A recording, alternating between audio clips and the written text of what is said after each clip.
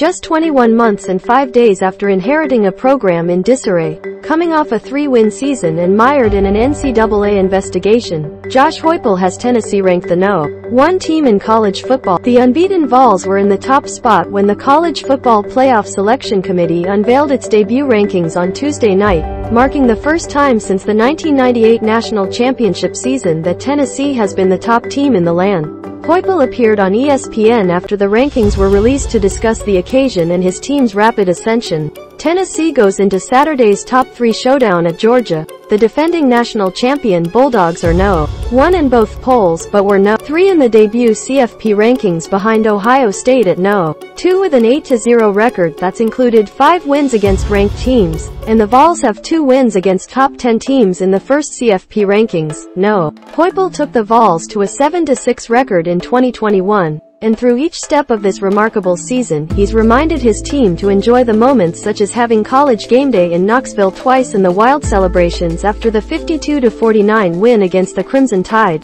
So it's no surprise he got ahead of Tuesday night with his team during another big game week. We talked about it earlier in the week, knowing that the rankings were going to come out, Heupel said on ESPN. Didn't know where we would be ranked, but figured we would be somewhere near the top. At the end of the day, one of the things that our players have done here is we've tried to enjoy the journey and take moments of pause to reflect and enjoy what our players have built here.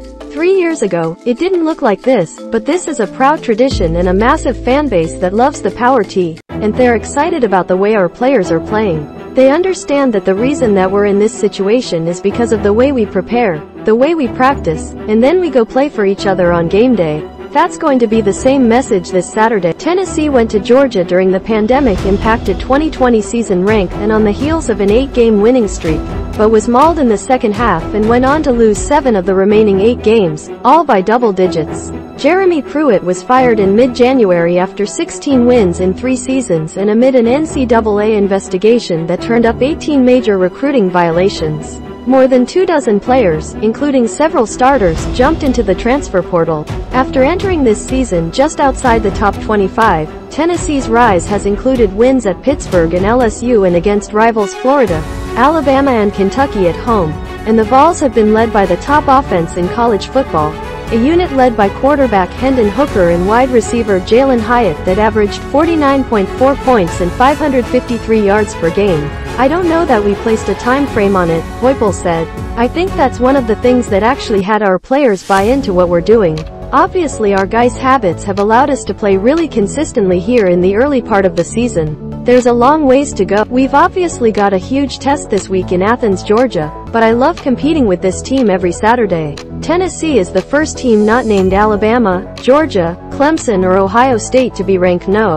One in the debut CFP rankings since Mississippi State in 2014. The Bulldogs also happen to be the last and only team not to reach the 14 playoff after being no.